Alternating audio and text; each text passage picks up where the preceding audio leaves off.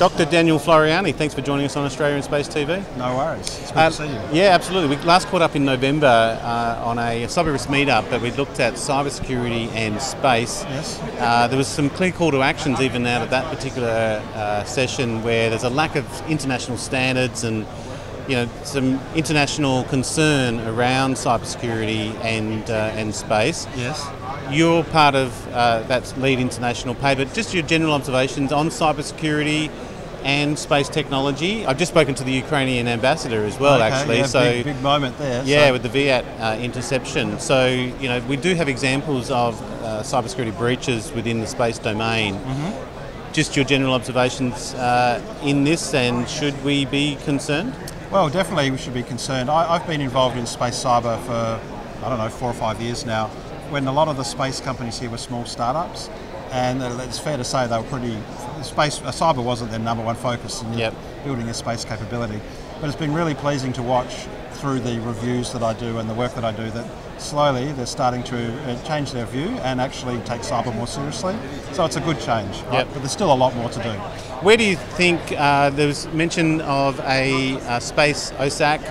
Uh, where, where do you see the international collaboration on, Ah. on cyber, and who are the key organisations that the audience should be aware So of? So we're one of the two Australian companies. I think we are the first or second Australian companies to join the Space ISAC out of uh, Colorado. Yeah. Um, and uh, it's great to have the ability to converse with people in a, in a global manner. Um, I'm part of a small group looking at zero trust architectures for space cyber, for example. 4:30 in the morning call, so it's a bit of work I bet, yep. collaboration. Um, but it's really it's really handy um, and, and, and good to find a community. And it's a small but vibrant community in this uh, global uh, space cyber world. That's really good to be part of. Um, and I th- I think you mentioned a little bit about Ukraine earlier, that uh, the Ukraine event, uh, especially day one, was a big cyber event, but there's been more after that, space cyber. Uh, so that's kind of really focused the attention on people. Um, but, you know, the generic cyber world, non-space related, is also a very good reminder for people that, you know, things are getting serious and we need to take it more, you know, make a good look at it. The other thing, uh, we were in at the Space Symposium in Colorado Springs uh, a few weeks ago. I was speaking to HPE uh, and their, their computing uh, platforms.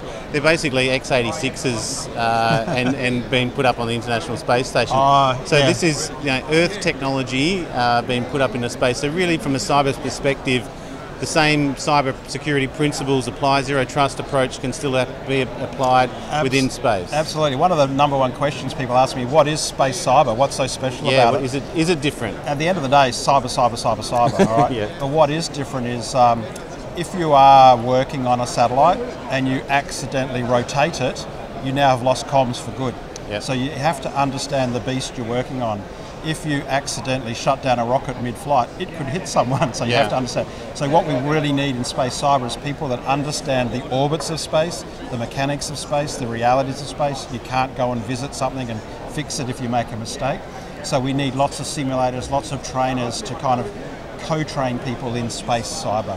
But they need to be cyber aware and space aware. So it's really that operation, that OT cybersecurity. It's definitely really OT. Yeah. Uh, having said that, uh, this whole supply chain, making sure people build things correctly, that's a kind of an IT thing as well. you Yeah. know, and space supply chain is long and deep, and especially in Australia, there's not a lot here, so a lot of it's imported.